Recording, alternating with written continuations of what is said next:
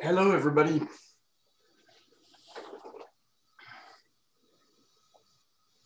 Hey, Matt. Hi, Andrea. How are you doing? Oh, all the better for a foot of snow. oh, my goodness. Okay. Oh, is that up in New Hampshire? Yes, Harrisville.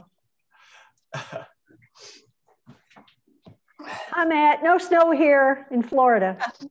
Just oh, that's good. I'm glad, Peggy. There'd be something very wrong. That could happen. You never know. So just a little bit chilly. Yeah. yeah, I saw that. I was looking at my my in-laws are in Interlaken and uh, Interlaken, yeah. Yeah, saying yeah, how cold it is. So. Did you come down here last week and help them, like you said? You mentioned. Actually, we're coming down. We're heading down um, uh, tomorrow. Yeah. oh. Today's Wednesday. Tomorrow, we're gonna. Oh, okay. We're gonna. Well, happy um, trails. Happy yeah, trails. thank you. We're yeah. we'll be driving all day tomorrow. So and uh, be socially socially isolating from them, still helping them somehow. So mask yeah. masking up. So yeah, I get it.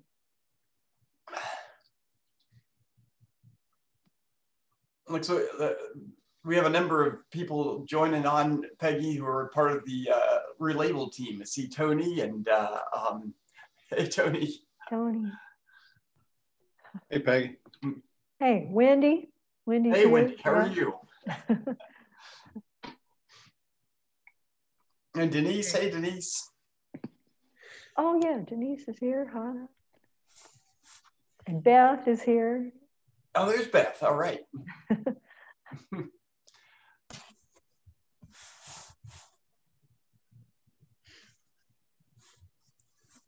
Hi, Matt. You look like you're outside. Are you outside?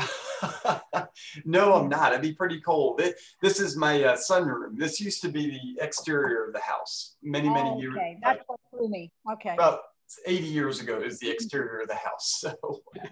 Yeah, I couldn't believe you were sitting outside, but that that's what it looked like. I would, yeah, I would not be looking so comfortable right now. So. Right. Good to How see much snow did you all get there? We only got about, um, we got four inches. Actually, it was oh. a good amount, four inches, yeah. but it, a lot of it's melted. Oh, okay. We four got about is waiting for the rest of it to melt so you can metal detect. Yeah. yeah. exactly. Tony agrees with that. Yeah.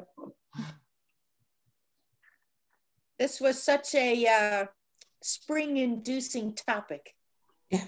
Yes, absolutely. So, actually, I might have a picture of Les in this presentation. We'll have to see. Hey, Les, I see you back there. oh, gee. There's Sarah Lee and her daddy. Hey, Sarah, yeah. and, and uh, Mr. Madison. Yeah, Mr. Madison himself. Double trouble.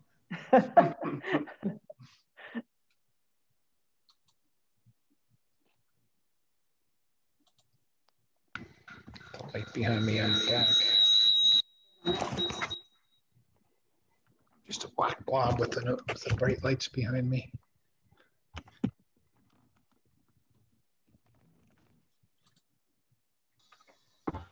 Oh, hello, hey.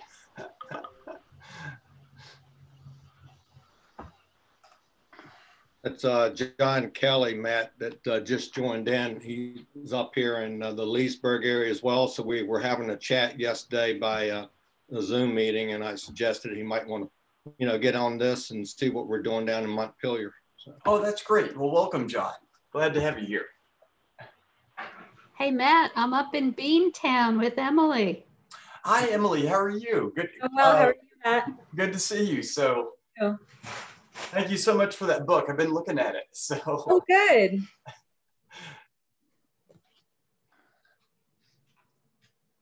All right, we got we got a good um, amount of folks who've assembled. Looks like everybody that registered just about is on.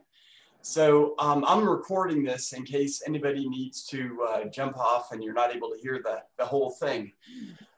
But um, and we'll send you a link after the uh, the meeting. But um, what we um, we'll give people a few more minutes to uh, to come on. Uh, but at the end of it, I'll talk a little bit about the, uh, the project relabel, where um, we have a number of folks that are helping to relabel the actual the units that we're actually talking about today. And uh, this has been a um, uh, real with the units being available, it's made this lecture a whole whole lot easier to put together. So, as this the, the, what I'm going to be talking about today is the front yard, of course, and the excavations there. And these are excavations that were done back in 2005 to 2007. So um, about 15, 15 years ago and uh, brought back a lot of good memories uh, looking at all the photographs. So, but um, well, we we will go ahead and uh, and get started. It's 12 o'clock right on the nose. And uh, like I said, we're recording this. What I'll do is I'll go ahead and share screens. And um, if you all could um, uh, mute your line just in case the dog starts barking or something like that. I've muted on a, on a couple of folks. So, um, and uh, like I said, I'm recording this this uh, presentation, so we can always um, uh, uh, I'll, I'll, send you the link to this afterwards. Um, if anybody has any uh, questions, you know, feel free to unmute yourself and jump in, and we'll we'll go ahead and get started. So I'm going to share my screen here, and make sure I'm sharing the right one and go to the PowerPoint and present. All right. So what I wanted to uh, talk with you all about today is the excavations in the front lawn. And these are the excavations that allowed us to do the restoration of the front landscape back in 2008 when we opened up the restored main house. And we did about three years of excavations on the front lawn, you know, figuring out where the fence is and, and the carriage road. But really, it's been, um, you know, there were excavations we had done before on the on the portico that helped understand what was going on with the front lawn, and then excavations we've done since 2007 when we finished the front yard excavations have actually allowed us to go back and inform some of the things that we found. So what we've learned with these landscape excavations where you know you're not looking at like a single site like a like a you know where i'm pointing right here the duplex uh, but you're looking at an entire landscape is it really uh, it, it, it need you need to, in order to understand what you're finding is you really have to um, it's a multiple season set of excavations and the more you excavate across these larger landscapes, you know, in the front landscape, we're talking about 20 acres, uh, the more you see how all these sites are related to each other. And it allows from, for some really exciting um, and very detailed finds to be made. Now, for the front lawn, the reason why we started these excavations is with the restoration of the main house, we, um, uh, if y'all, if anybody remembers visiting Montpelier before 2007, uh, the DuPont house had a very different driveway configuration. The driveway used to come up to the front of the portico.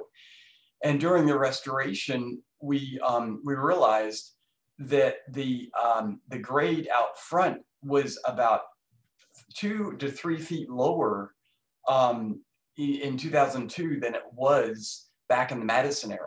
And what we were able to figure out is in the 1840s, there was a good amount of grade that was cut down out front.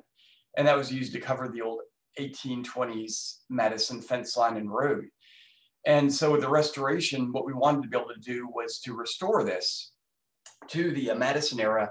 Uh, so visitors would approach the house in the same way that, you know, Madison and, and the enslaved community would have known uh, the house. And what we had to go off of was, was this early watercolor that showed the front a fence further out in front of the house and then what appeared to be a carriage road where this you know enslaved mother and her daughter are walking um, out in front of the house but in the course of these excavations what we realized is that you know not only did we have to you know we are wanting to try to understand the madison era landscape but we also had to understand the 1880s landscape as well. This, this, you know, mid to late 19th century landscape changes that happened at Montpelier.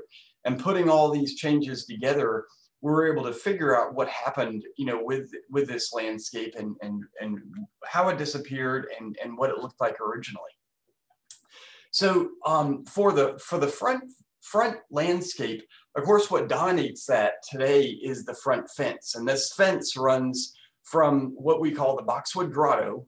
And this is over um, uh, towards the visitor center side of the, uh, the main house. The visitor center is just off this three-dimensional reconstruction of the 1820s landscape off to the right here. Visitor center is just right over there.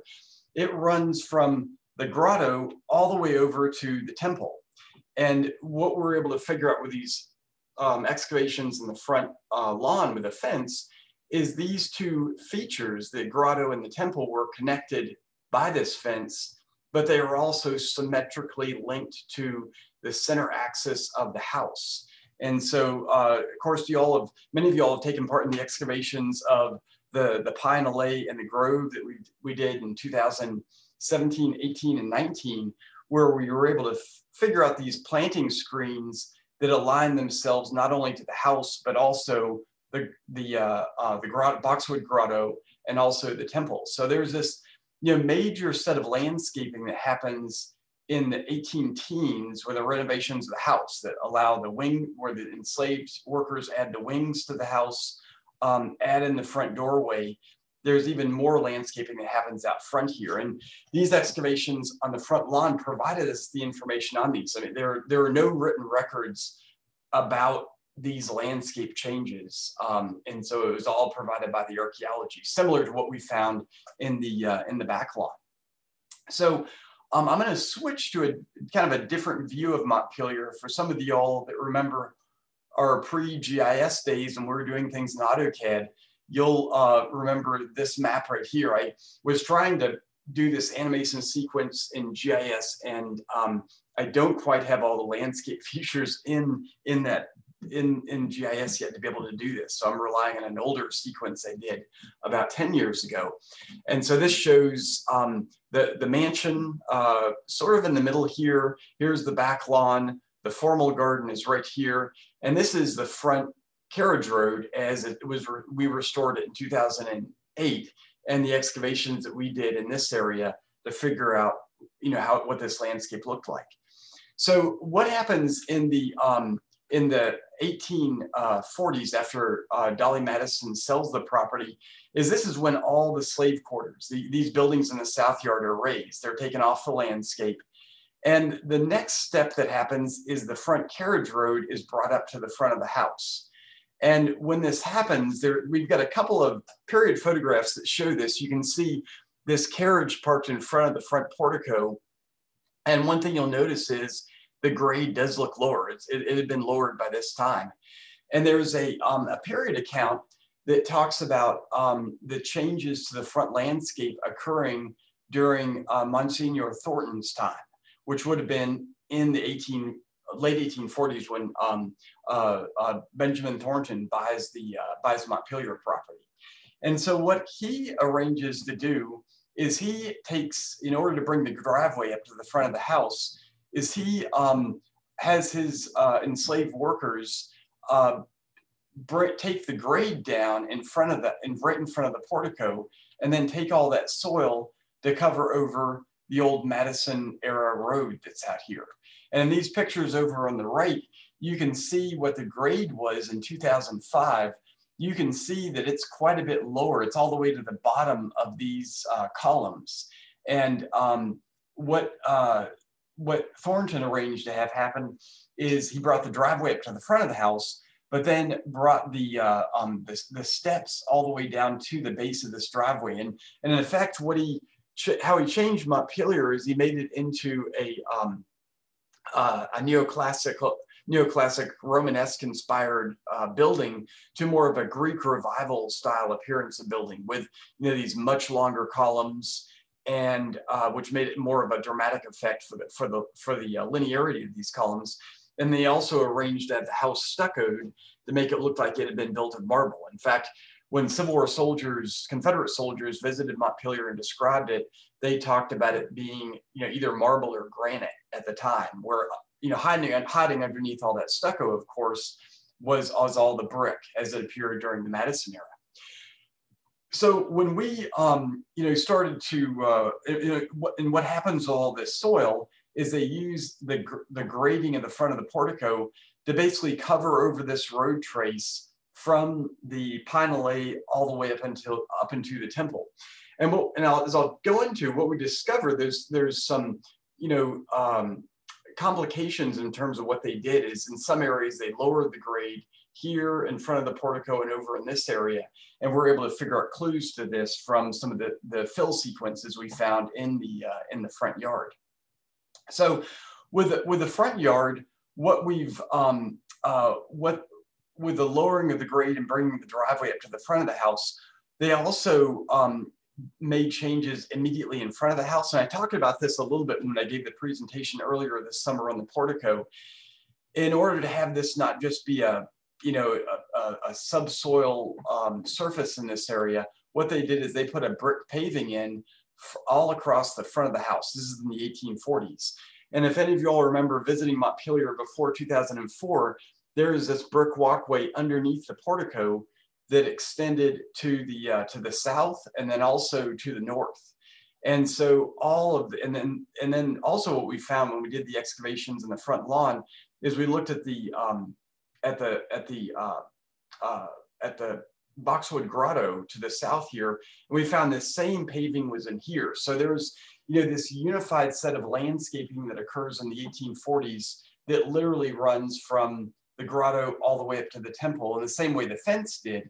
But in, in this, but at this time, what they did is they covered over the old Madison Road. So, you know, in the, in the 19th century, especially the early and the mid 19th century at two different points, you've got some really massive landscaping that occurs to the front of the house. And, it, you know, all this is done by enslaved labor with uh, you know um, uh, hand tools, with digging sleds, wheelbarrows, pickaxes. You know some very intensive work, and the archaeology revealed you know this, and, and this, this was kind of this this work that we did to understand what the Madison appearance of the front lawn looked like revealed this uh, work this this landscaping from the 1840s and it was really necessary to understand that to understand what was going on with the front of the uh, the house so, um, and, and all this work, just to remind you that all this work, the, the excavations we did under the portico, the, the, the excavations we did in front of the house, all this occurs between 2004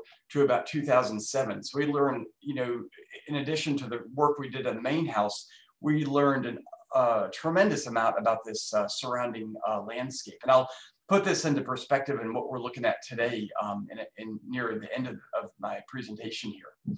So with the with the work we did on the front of the house, uh, the goal of this work was to understand, you know, basically to ground truth this 1817 watercolor by Baroness Hyde de Neuville, in which she shows this front fence in, you know, in front of the uh, um, of the of the of the 18 um, early early uh, 19th century plantation, the 1820s uh, main house, and in looking to figure out where this was, I mean, even where to put the first unit, we worked with Alan Brown, who's a landscape historian, and he started looking at the, the, the layout of the grounds and how this, you know, in the early 19th century, how these grounds were laid out. And he had seen something similar at Poplar Forest, where uh, there was several landscape um, uh, treatises of the time that talked about taking the breadth of the house, and the breadth of the house is the main block of the house, which is 90 feet across, and then using that to place the um, main, the, the dooryard gate, which is the entrance into the formal grounds.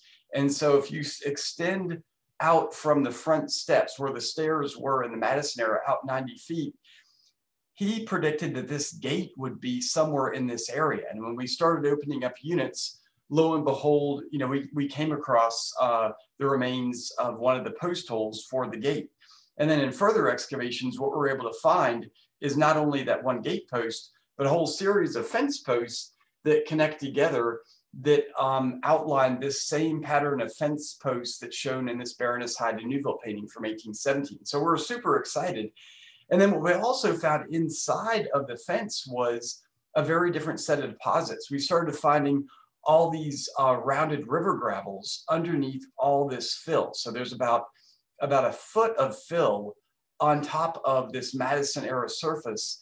And how we were able to figure out this was the Madison era surface was by the presence of these rounded river gravels uh, and cobbles uh, that we located that were buried in the 1840s. And so what we're able to figure out about this fence is that it outlined this, this uh, carriage, paved carriage siding, and then the carriage road out front was a, um, a, a basically a, a red clay road without any paving. And then this paved carriage siding is what allowed the carriages to pull off and then allowed passengers to disembark and then walk up the gravel path, which we also found evidence for up to the front of the portico. And in the process of, of these excavations, what we also found was an unusual planting bed in the middle here that was filled with charred wood. We still have never figured out exactly what that was. And um, for purposes of restoration, we put a paving all across the front here. Uh, it, it, there's as you'll see with the excavations that I'll show you in a minute, there, you know, there's um, still a lot of excavations that are needed to, to really flesh out the details on the front lawn. This is by no means a, a done set of excavations and research. Uh, we basically did enough on the front lawn to figure out the fence where the carriage road was um, and allowed the main house to be opened up with this, you know, semblance of the fence and the road there. But there's a lot of other details we there is still left to figure out. And one, one thing that was really dramatic about these fence posts is that um, they're set against red clay subsoil. And I'll show you some of the excavation sequence of that in a second. But when we, um, what really allowed us to identify these post holes were that when Madison's, the enslaved workers installed these posts, they would char the bottom of the post to harden it from insect infestation. And so when you look into one of these post holes, this is the post hole that's right here. When you look into this post hole, you can see this squared off area right here. That's the location of the fence post that's buried in the middle of this post hole and then it's backfilled around. But what's beautiful about these charred posts is that because they, you know, the outside of it is charred, that charred wood survives. The impression of it survives uh, because, it, you know, insects don't eat charred wood. And not only were we able to get the dimensions of these posts, they are four inches by four inches, but also uh, send the, um, the charred wood out for analysis. And the paleobotanist um, identified the species of the posts as black locust and then also black walnut. It was a mix.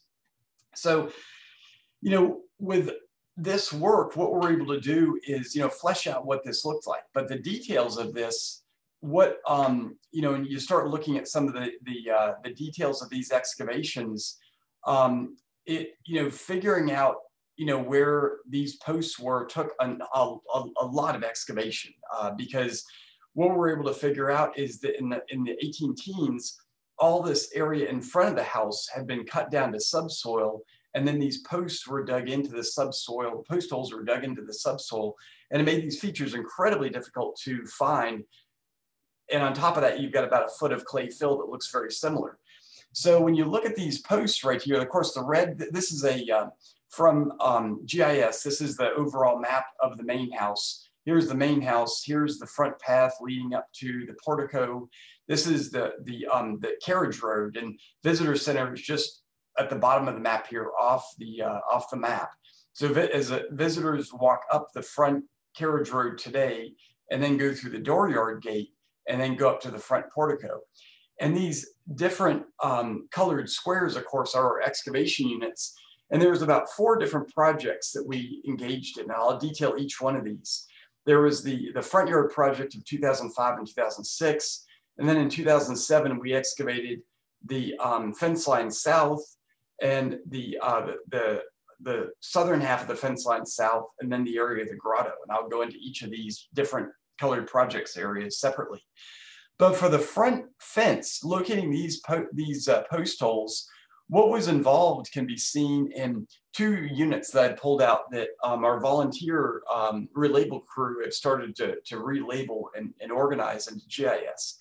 And if I, I'm gonna switch over to a sequence of the shots from this first unit, um, one, two, three, seven, and you'll be able to begin, begin to see the stratigraphic sequence that we encountered in our excavations. So um, in this unit right here, this is, um, you know, the opening up of, of 1237. And again, this is, um, me get back to the presentation here. 1237 is right here on top of what was a uh, post hole. And when you look at this excavation sequence, this is the uh, the topsoil after the after the sod had been skimmed off with shovels. And when you um, started when we dug through the topsoil, we came down to a layer of of pebbles.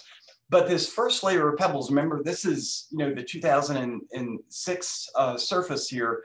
Under about two inches of topsoil, what we start encounter, what we started to encounter, was uh, a rocky um, topsoil that was loaded with slag and blacksmith scraps. And then below, and so these are, and, and also 18th century artifacts, which at first did not make any sense whatsoever because we were looking for, you know, we, we had figured out from earlier excavations that we were digging through, we were going to need to remove the 1840s fill. And you've got this 18th century topsoil that's on top of these 1840s fills. Underneath, and I'll explain that in one second, but underneath this 18th century topsoil that had obviously been redeposited, what we had was this very red clay that was filled with all kinds of gravels. And this gravel fill eh, also included cobbles. And this was from all this soil that had been scraped down in front of the portico and then brought out to the old Madison era fence line and carriage siding and dumped on top of it to, to bury it.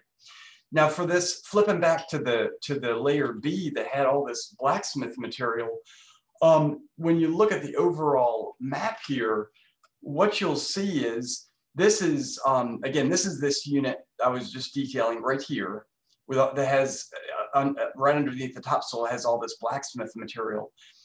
Some, you know, we, given that it was blacksmith material we were locating here, slag and, um, and uh, clipped iron, we knew that in the 18th century, the blacksmith shop used to be up in this in the field beside the temple. And uh, when the temple was built in 1811, that's when, by that time, the blacksmith shop had been taken down and it was moved to the home farm right beside the overseer's house. And this is actually the area that uh, Dennis and, and Tony are metal detecting today and we're going to be um, excavating this this uh, this upcoming season in 2021 with the expeditions is looking at the blacksmith shop that's not here by the temple but the one that's down at the home farm by the madison family cemetery. So in the eight, by the 1820s this blacksmith shop, shop was gone. But in the 1840s what happens when they bring you know lower the grade in front of the portico and bring the carriage road around to the front of the house is is they also, when they get rid of this road leading to the north that goes to past the, the temple and over to the over to the ice pond, is they rearrange the road in this area and they have this kind of um, I don't know what to call it, a spur or kind of an off ramp that went around to the back of the temple that gave access to the ice house. And then this road continues up and actually goes over to the horse graves today. And when they did that, what they had to do, and this is in the 1840s when this grading has happened, they lower the grade here. And so we're thinking this is the spot where they take down this topsoil and then it becomes available to dress all the red clay and quartz rock that they've spread on top of this area. And they bring this topsoil over because they had to remove it, but it's also good fertile topsoil to plant the front lawn. And when we were excavating the area, this um, the shot to the right here is looking towards the uh, the front carriage road in, the, in this uh, circular dooryard fence right here. Um, this these excavations we did in 2013, we were trying to figure out whether or not the old the old Madison era carriage road extended out this way and whether the fence line extended as well. And as you might expect, it did extend. We found post holes all through this area. But when we were doing these excavations, what we didn't find are any post holes in this area. And when we started to find post holes here, they were incredibly shallow. And that gave us the clues that this area had been scalped off. And then also right underneath the topsoil here, we hit this bright red clay subsoil. So this area right here is what was scraped down and then deposited for the topsoil on top of you know, this the old Madison Road in the 1840s. So there's some pretty complex land uh, or soil movement occurring in the 1840s. And the only way to understand that is going through, you know, all these these excavations. And then so what this area looked like in the 1840s, and you can understand, you know, it's a miracle that they didn't, you know, have the road go through the middle of this this fence line. Is uh, but when they get over here, they filled this area here, and that preserved the post holes in this area over by the temple. You can see the temple columns right there. So, um, so what going back to this excavation sequence of these um, these units. So this, you know, this is again, this is the unit that um, is in the uh, the front carriage road where where one of the front fence posts was located. Underneath this redeposited topsoil, this 18th century topsoil that's redeposited in the 1840s, what we find under that topsoil is this red clay with not only quartz pebbles, but also quartz cobbles. And this is all this you know, clay soil they remove in front of the portico to deposit on top of the old Madison Road.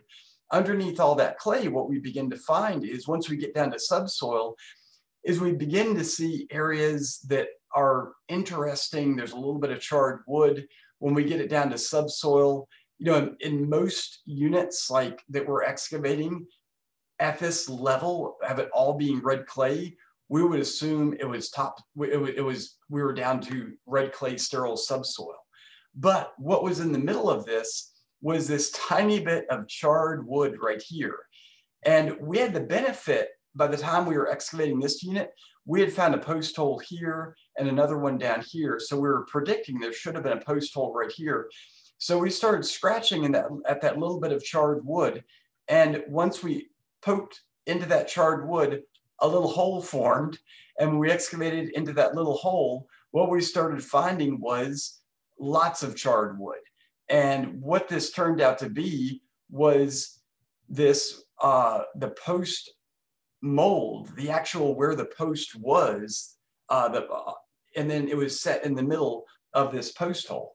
And in terms of this unit right here, we ended our excavations at this level. We had we defined the post itself, and you can see it's at an angle, and that's that's because this is at a um, at a curve uh, in the fence line uh, right here. Let me go jump to um, back to this unit right here.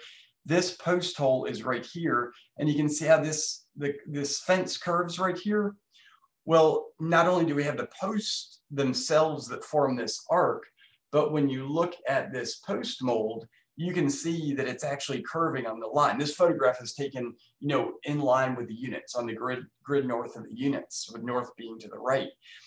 And so this, you know, this was, uh, you know, all these post holes are like this. And in fact, when we started to excavate with um, the posts in this area, one of the other um, units I'll show you an example of is this one right here, 12 um, uh, see that's 1211 right there.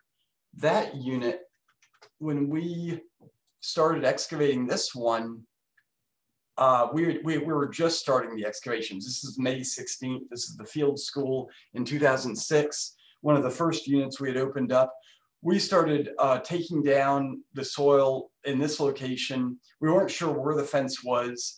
Uh, we, you know, took off the, uh, the sod, took off the topsoil, layer B is when we started to encounter, you know, all this slag and, and, and bits of clipped iron from the 18th century blacksmith shop topsoil that had been hauled in and deposited on top of this red clay filled with all this, um, this quartz uh, gravel and cobbles. And then once we got through the clay and the cobbles, what we got down to finally was a transition to subsoil. And then we hit what we thought was subsoil.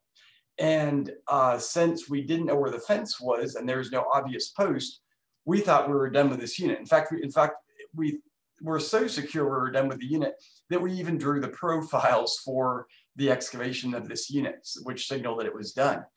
But once we started finding all these, um, the fence line, and I'm gonna jump back to this 1211, you know, we had found all these fence posts right there. We decided to revisit unit 1211 and when we did that, uh, let's see. I'm getting back to this. When we did that, what we um, started to look for was, you know, opening up D2 is we noticed that uh, when we started to go into the subsoil is there is a little bit of charred wood there. And sure enough, just as the pattern was, once we started digging around that charred wood, what we found was the post mold for the fence. And once we found the post mold, then what we were able to do is successfully begin to find the post hole itself. And what in excavating these post holes, what we realized, you know, normally when you excavate a post hole, you know, when you're digging through, like if you're, if you're doing this in your, your yard, for example, you'll dig through the surrounding soil, the top soil, put it into a pile, install your post, and then push all that soil back in the hole. And so if you did a, a plan section of that, that area where you did the post hole, you'd see the topsoil all mixed in with the red subsoil, and you'd be able to identify where the post hole is. For these posts that were excavated here in the 18, 18 uh, the 1811s through 1812 period, what we found is is you know defining the post hole, the post mold where the post was was very easy. It was filled with charred wood, but the surrounding area where the post hole was was just impossible to define because what Madison had his slaves do in the front yard is cut the soil down uh, where the fence was going to go to lower the grade in front of the house. And then once that was done, that's when the post holes were dug. So basically, what's being thrown back in that post hole is the same kind of surrounding soil as the subsoil. And it's only by texture that we're able to finally be able to see, you know, that uh, where the post hole itself was. And in this case, there was a, there was sometimes there were small pockets of you know other soil that would get mixed in. Like in, for example, right here, it's a tiny pocket of of uh, of uh, loam topsoil, and then there's your post mold right there. But finally, what we what we were able to do was to get down to the bottom of this post hole itself, and then in the process of excavating this out, what we're able to do is be able to see, you know, the post holes are quite large, they were quite deep, and um, I've got a better example of this, but they were also dug by an auger. There are these circular impressions in the bottom that indicated that it was an auger. So the excavations, suffice to say, in the front lawn were a bit of a nightmare to locate this fence. Not only did we have all this fill to dig through that was, you know, a red clay fill on top of a red clay subsoil, but then also uh, once we got to the post hole, it was filled with red clay. Now, one thing, and going back over these photos that I just noticed, um, uh, let's see, it's this one right here. This is pointing north. You'll notice this slightly curved area right here. This, this is the post hole itself.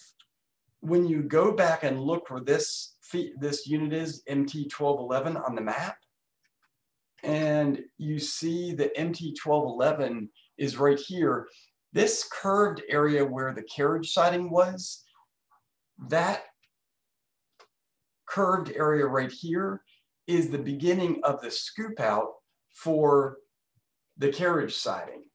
And and what um, what you know if we ever go back to excavate the front lawn you know this is something we're we really we're going to want to look at is you know investigate more of you know what that carriage siding actually looked like and when we restored the front of the main house, what we did is we buried all this back. So all this archaeology is still there waiting to, waiting to be discovered.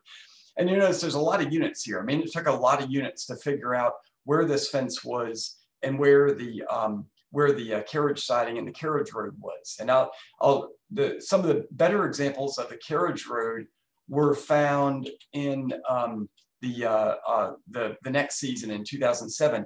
And this, this unit right here, this, this, this post hole right here, you can actually see these auger holes very nicely. These are two auger holes that intersect. And these are a, uh, about an eight inch auger that was used to auger out these post holes in the 18 teens. And Madison um, actually uh, writes about, you know, using these kind of augers. And uh, uh, that's would love to find an example of an auger, like a soil auger that was used for this, just for interpretive purposes. But what we found when we did the excavated, the post holes that we did excavate is at the bottom of the post holes, we found evidence for this kind of augering. And we haven't seen the evidence for these augers in any of the other fence lines. So it seems to be something that was very specific to the front fence. Now, going moving on to the um, to the fence this fence line to the south. Uh, once we found the front carriage road and the carriage siding, the next season, what we wanted to do was to figure out where this fence went so it could be restored all the way back to the visitor center. And so um, it was a rather ambitious season to, to do this in a single season, but we're able to do it mainly because all these post holes are all, we're all seven and a half feet in separation and we're able to lay out our units in such a way where we could discover them. And the trick became figuring out where the fence line ended. And I'll get that, get, get down to that down at the, uh, the, the, uh, the fence line grotto down in this area. But the first part of the season in 2007, we made a very important discovery of not just the fence line right here, but also of the um, of the uh, carriage road itself. And you can see, uh, many of y'all probably have seen this picture before. Here's the post holes right here that we've uncovered. And then one of the archaeologists is pointing to a set of linear depressions here that are actually the last set of wagon ruts that were pressed into the carriage road before all this barrett was buried in the 1840s. So what we found was this incredibly well-preserved remains of the carriage road itself, which was basically a, a, a, rutted, muddy track that went in front of the house. And that was the whole point of this page, paved carriage siding in front of the, uh, of the dooryard gate right here. And in excavating this area, one thing that we found was in several of the posts out here is we found evidence for two different posts in the same hole. You can, you can see it down here, the, the charred wood that's down here is a, is a post that's in a different position than the post that we found the wooden remains of right here. And there was a clue to why there would be two different posts in the same hole from an 1830s uh, print of the main house. And what this shows is this is a, um, a print by uh, Prudhomme that was done after the Baroness, or sorry, after uh, the, the uh, John Gadsby Chapman painting that was done in the 1830s. And what he shows is the front fence running all along in front of the house. But when you zoom in and look at this, what you'll notice is, is you get the nice pickets here, which where you have the dominant pickets where the posts are in between. But when you blow up this section, what you see is not a picket fence, but what appears to be a, uh, a, a, um, a rail fence. So it's post with rails. And what this made us think of is whether or not there had been a repair to this fence. Remember, these palings would have been in front of the rail because there's a rail behind each of these white posts. There's a rail that holds these palings in, in place. But over here, there's no palings. There's no slats in the fence. It's just these rails. When we looked at, started looking at some of these post holes in the south side of the fence, what we found is, you know, again, there, here's this wooden post that dates later and is superimposed on top of this earlier charred wood post down at the bottom. And what we're able to figure out is that this fence had been repaired in the 1830s and a post and rail fence had been put in place. We, when we restored the fence, we've restored it as a picket fence. But, you know, just it showed that, you know, through time, you know, with, uh, um, with some of the decay of this fence, it was important enough that they repaired it even, even though they didn't have the resources to repair it with a new picket fence or made the decision not to repair it. It was an important enough fence where they put in, uh, put in a new fence line. Now, for um, some of the other areas uh, um, along, you know, chasing out the fence, one of the other discoveries we made to the south was along this series of post holes, we had, you know, this set of posts that were separated by seven and a half feet. We skipped this one because we found this one. We didn't dig every single post hole. But what, and what we found in, in with these post holes is that in between, there are the there's sometimes we'd find smaller posts, post holes. And these smaller post holes were separated by 10 feet. And these posts, when these post holes, when we excavated them, were much shallower than the 18 teens post holes and they were square. And so what the, these post, post holes are only dug to about a foot in depth, which doesn't make any sense for a fence that would be able to stand up. And what we're able to figure out is that these were 18th century post holes that had been truncated when the grade in front of the house had been cut down. And so what we were able to figure out from these posts that were set on 10 feet in between and sometimes on top of these uh, 18 teens post holes that are much deeper is there was an 18th century fence here, which meant that this carriage road probably also dated to the 18th century. And um, what we we found when we did the front excavations here is that that the evidence from the the, the uh, carriage siding speaks to that that that was installed in the 1820s. But you know, with the house, the original 18th century house having a different entrance right here instead of centered on the middle of the uh, the main block with a 1797 edition, there would have been a whole different approach here. But we got clues to it from you know these earlier post holes that we found in these front yard excavations. And then the final part of the excavations was the um, area to the uh, to the southernmost part of the fence where the boxwood grotto is located. And in this area, what we were trying to do is chase out the last of the post holes. And we how we were able to figure out where the last of the post holes was is we found a post hole here, but none here. And we actually opened up several units all across this area trying to find, we found the road, but we did not find any more fence. And it just so happens where this last post hole is right here, lines up with the Boxwood Grotto. And later on, when we did excavations up by the temple, we found the same pattern up by the temple where the last post hole is just inside the location of the of the uh, temple. So you get this symmetrical placement of, of uh, post holes. So when you when you putting all this together, what we're able to do is actually restore the front fence. So this this is a shot of the area in late summer of 2007, where you've got the you know the 1840s carriage road heading up to the front. This is the old this is the 2001 path that leads to lead up to the main house. We took all this evidence together and took down several trees, took out the um, took out the um, the road the um, this this 1840s road trace in the 2001 path and basically brought the fence back to life. So what we eventually ended up with was you know the landscape as you see it today uh, with the um, with the, the 1840s surface uh, buried underneath all of this for future excavations. And so you know what all this um, uh, allowed us to do, you know, putting all this this landscape evidence together, is to not only figure out what the front front fence looked like, but also understand what happened in this area in the 1840s with the landscaping to you know transform the house into a Greek revival house. This is in 1848, and when you begin to look at um, you know how all this um, you know uh, goes together with um, the work we're doing today is, let me bring up, uh, yeah, this, this, this is a, um, this 3D uh, model of the, uh, of the main house that we're working on with the IMLS grant. And I've got the fence superimposed on this area.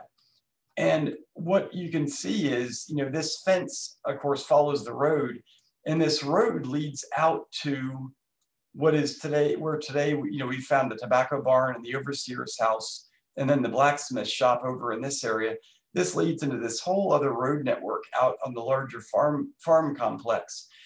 But figuring out, you know, this the, these road traces, you know, how they date to, these are some of these 18th century post holes. These are these square post holes. This one right here, you've got another one right here. And then um, I think um, yeah, those are the extent of the ones we located. And then there's other ones right here as well that are 10 feet in separation.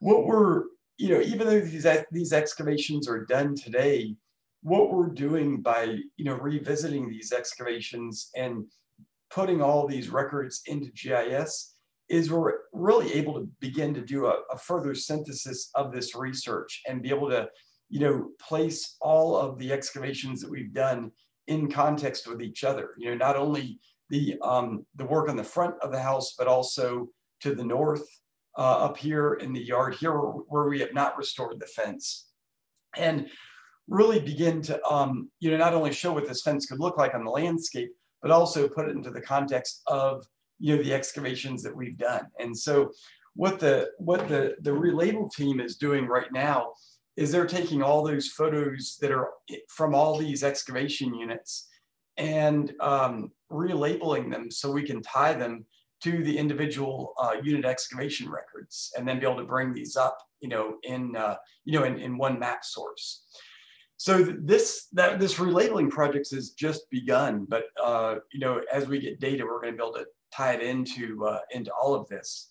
And um, uh, I mean, I'm going to go ahead and stop screen sharing right here and go back to the screen and uh, see if anybody has any any questions. I kind of did a, a, a big dive into you know what seems to be some rather obscure information, but when you tie it all together, it really shows how all these sites are related, and then even how all the time periods are related in terms of understanding you know um, one set of deposits related to the next you, this is why in archaeology, you can't just simply dig down to the 1820 surface. You've got to understand the changes that happened in the 20th century and then in the, the mid 19th century before you get back to the, you know, the, the 18 teens. So, um, so I don't know if any of Team Relabel has any, uh, the, the one reason I did this presentation uh, right now is that the Team Relabel is literally relabeling all these excavation records from the front yard as we speak. Um, and so thought I'd be able to give them some background on what the front yard excavations were and make these layers that you all are going through a little more meaningful.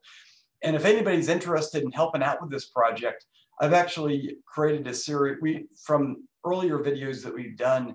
I've created a document that compiles all the training videos together. And if you have about two hours to kill, you could go through those and then get a sense if you'd want to join uh, Team Relabel. But I don't know if anybody from Team Relabel has any experiential things they want to talk about from the work they've been doing. I'm, I'm putting you all on the spot. I should have given you some warning on this. So, and I'm gonna get a drink in the meantime.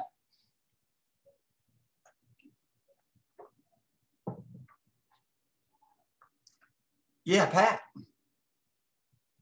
I'll, if you unmute yourself, Pat.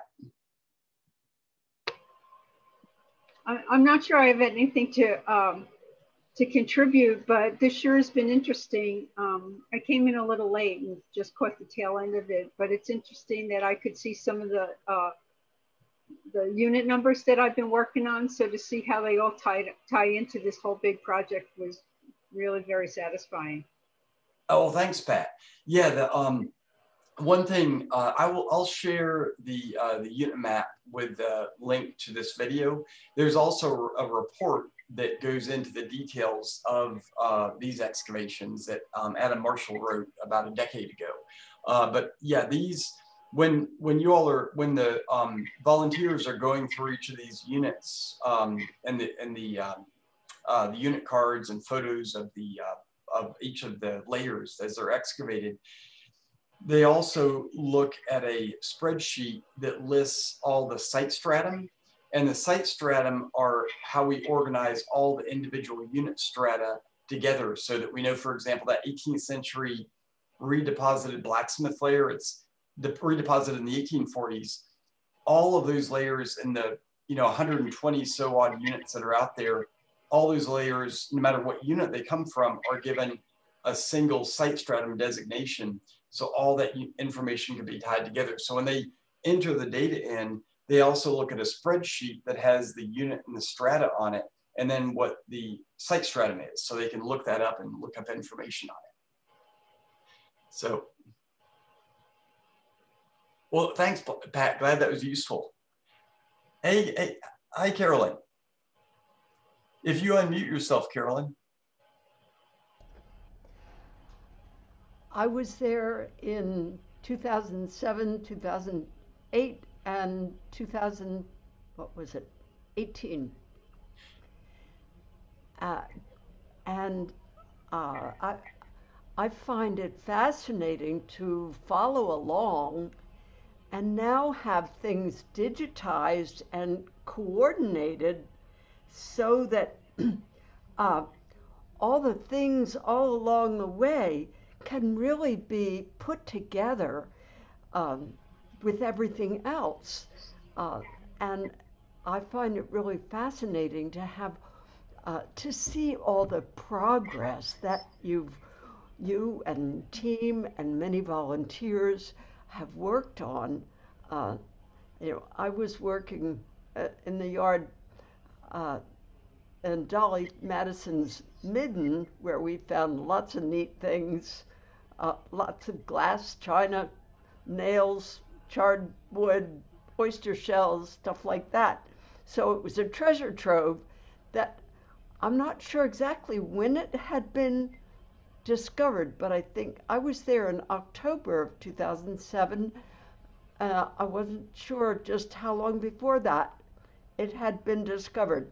Yeah, we we discovered the Dolley's Midden. So that part of the excavations in the front yard were in uh, the summer of 2007, and at that same time uh, we had discovered Dolley's Midden, which is on to the north of the main house from um, a, some utility work that had been done. And after three seasons of digging in red, sterile red clay, what we collectively decided is, is that we were going to dig in units where there were just thousands of artifacts. So we went from, you know, digging in units where we'd collect sandbags full of quartz rocks to units over in Dolley's Midden where we'd collect sandbags full of artifacts. So it was just absolute catharsis for for the crew in terms of being able to actually open up a unit and have um, artifacts coming out of it. There's a, a great picture of you, Carolyn, holding a, uh, a, a, Chinese export porcelain platter with uh, Megan Vaness. It's one of my favorite photos. So one of my favorites. thank, thank you, Carolyn. You're welcome. And I'm looking at the uh, the questions. Looks like Terry, you got uh, um, a number of these uh, uh, questions covered. Thank you, Terry. Yeah, yeah the um, the 1830s repairs. Yeah, there's yeah th those repairs to the front fence, like Terry noted. Um, uh, Terry's been interpreting some of the um, the uh, changes that happened in the south yard, and they seem to coincide. Yeah, I hadn't I hadn't heard. I didn't realize I learn things when I hear these talks too, because I wasn't here in 2007. So I didn't realize we'd identified repairs in the front fence. Mm-hmm. It's also the side of the fence that mm. the that lines up. So we did excavations a couple times on the paling, the paling fence and the post and rail fence that's located behind the south yard, and it's where the south yard transitions into where the stable quarter is located. And there's a a couple fence lines back there. One of those fence lines is a paling fence, and that fence extends from the corner of the garden all the way down to the Boxwood Grotto, which is also kind of the corner of where um, this paling fence that Matt just talked about lines up. Um, and that paling fence, I think, gets taken down sometime in the 1830s, mid 1830s, probably right around when or just after Mr. Madison passes away and it's replaced with a post and rail fence that's oriented towards the south yard. 1829 is when the south kitchen probably stops being used because that's when Nellie Madison passes away. So in the 1830s, we also think that the remains of that building are torn down and actually put over where that fence line I was just talking about used to be. Um, may have also been when a when a front porch was added on to the um, uh, to this the, um, the one of the double quarters. So there's a lot happening in the 1830s that we don't often think about or talk about, but a lot's happening on this landscape that's fixing, I think in, in some ways fixing it up and, and getting it ready, even maybe perhaps for sale. But Mr. Madison dies in 1836, right? Like a big thing happens at mm-hmm. Montpelier, and you always see in the archaeological record that when big modifications happen to landscapes or to houses, it's it's when the property changes hands or when somebody else starts taking it over, um, and and that's a pattern that we see in the archaeological record everywhere. So um, we see it here at Montpelier over and over and over again, um, and and it's a way that you really can identify landscape change happening. So I think it's interesting that in the 1830s, sometime in the 1830s, we see a lot of these shifts happening around the formal landscape. It's not huge and dramatic like what we see after Madison takes over the property from his parents, but we can see it in these smaller places of how fence lines may be getting repaired or changed or fixed, um, and and how that translate how that may be coinciding with the changes. We even have an account from Paul Jennings in the early 1840s where he writes about how he went back and visited and saw that the um, enslaved community had cleaned up the yard is what he I think is the phrase he uses. So um, so anyway, I think it's kind of interesting. I'd, I'd not that was a neat thing to to learn, and I wonder how it ties in with some of these patterns we're seeing across the landscape.